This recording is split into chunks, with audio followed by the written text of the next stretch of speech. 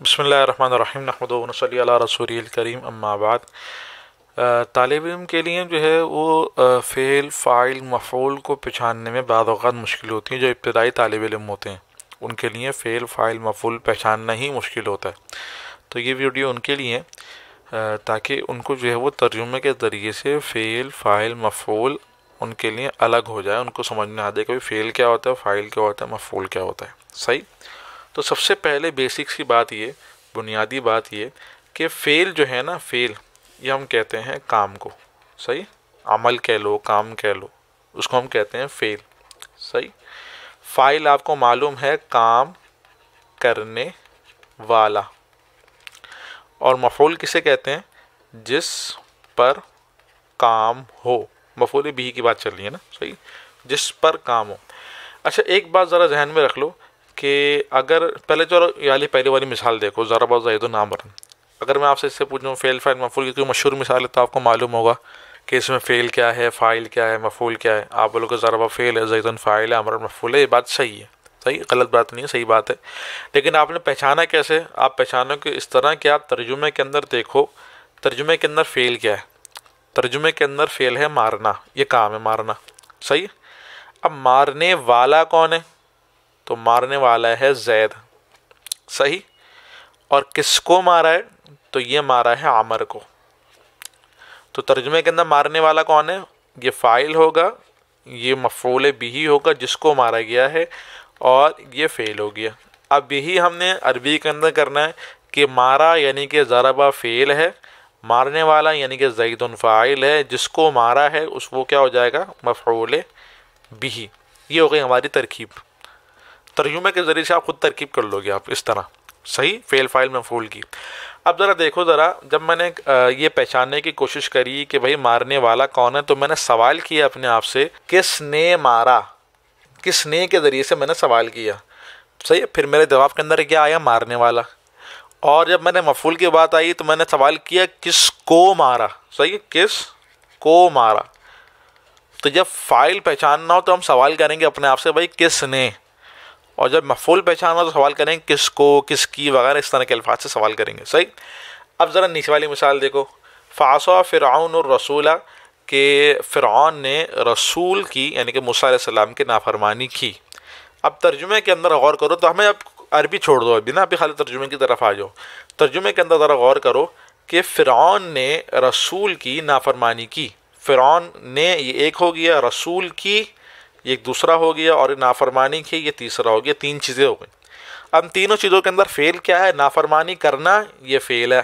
सही? ये फेल आ गया। अब सवाल करेंगे भाई, नाफरमानी करने वाला कौन है? सही? यानी कि किसने नाफरमानी की? सही? तो किसने नाफरमानी की? तो फ़िरौन ने नाफरमानी की तो फ़िरौन क्या हो जाएगा? फ़ाइल किसकी नाफरमानी की? तो रसूल की नाफरमानी की, रसूल हो जाएगा मफ़ूल भी सही? तो फ़ेल आ गया फ़ासा नाफरमानी फ़ेल फ़िरौन क्या है? ये फ़ाइल है और रसूल क्या है? ये मफ़ूल भी है। सही? अब ज़रा तीसरी मिसाल देखो। ईया कलामदू हम तेरी ही इबादत करते हैं। सही? अब ज़रा तर्जुमे की तरफ़ देखो इबारत अभी छोड़ दो।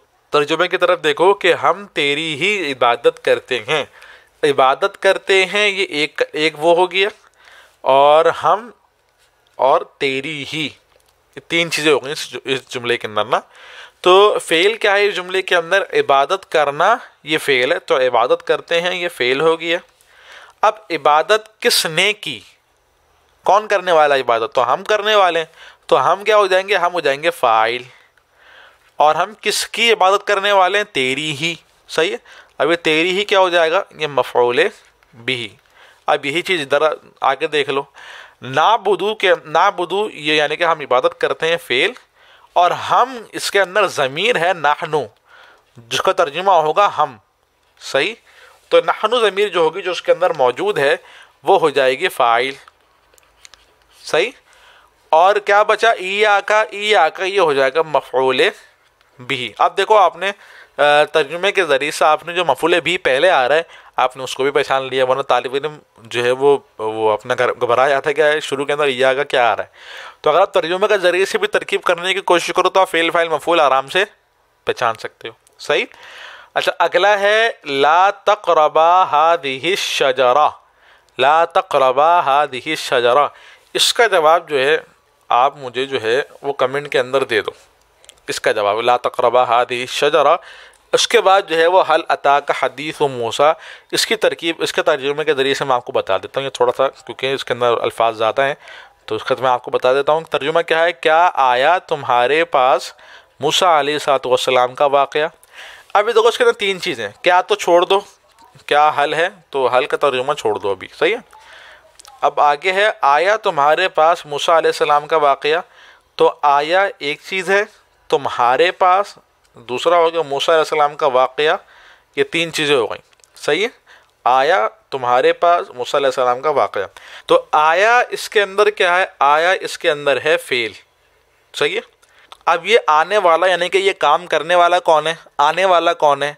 जो आने वाला होगा वो फ़ाइल होगा। तो मूसा सलाम का वाक़ क्या है? ये फ़ाइल है, ये आने वाला है। और किसके पास आया? तो तुम्हारे पास आया तो ये क्या हो गया? मफ़ूल बिही। अब देखो, इस मिसाल के अंदर अगरचा जो मैंने आपको अल्फाज लिखवाए थे ना ऊपर, किसने, किसको तो अगरचा उन अल्फाज के ज़रिए से सवाल नहीं हो रहा। सही है कि आया तो फिर किसने आया, इस तरह के मैं सवाल नहीं कर रहा तो ज़ाहिर सी बातें उर्दू के मुताबिक नहीं है।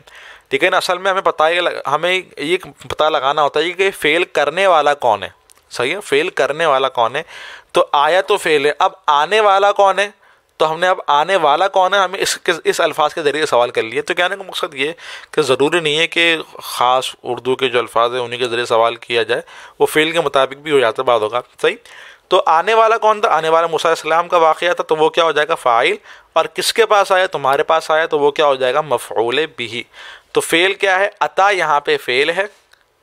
और मूसा का वाक़ ये हो जाएगा आपका फ़ाइल। और किसके पास आया? तुम्हारे पास आया तो, काफ ज़मीन हो जाएगी मफूल भी सही? तो फ़ेल फ़ाइल मफूल भी के साथ मिलकर सब मिसालों के अंदर ऐसा ही होगा फ़ेल फ़ाइल मफूल भी हैं। कहीं जुमला फ़ेलिया ख़बरिया बनेगा कहीं इंशाइया बनेगा। यहाँ पे जो है ये दोनों इंशाइयाँ हैं और ऊपर के दिन ये ख़बरिया सही? तो उम्मीद है कि आपको फ़ेल फ़ाइल मफूल का थोड़ा सा आपका अंदाज़ा हो गया होगा कि फ़ेल फ़ाइल मफूल किस तरह पहचानते हैं। बाज़ इब्तदाई तालब इलम या फिर वो तालब इलम जो सिर्फ़ और सिर्फ़ एराब और इनके ज़रिए से पहचानने की कोशिश करते हैं, भाई खाली इनके ज़रिए से नहीं पहचाना जाता, तर्जुमे के ज़रिए से भी पहचाना जाता है। सही है? तो बाद तालब इलम जो तर्जुमे को ज़्यादा तवज्जो नहीं देते, तर्जुमे के मुताबिक तरकीब नहीं करते। तो गलती वो यही करते हैं कि वो जो है वो बस एराब वगैरह देखते हैं और फिर पहचानते हैं कि भाई ये मरफू है तो फ़ाइल है मनसूब है तो मफूल भी है, वगैरह वगैरह। सही है, इसकी मैं इनकार नहीं कर रहा, लेकिन बाद मरफू खाली फ़ाइल नहीं होता, और भी चीज़ें मरफू होती हैं, मनसूब खाली फुल भी नहीं होता, और भी चीज़ें मनसूब होती हैं। सही? तो खाली अलामत के ज़रिए से नहीं पहचानना होता, बल्कि तर्जुमे के ज़रिए से भी पहचानना होता है चीज़ों को। सही? तरकीब के अंदर।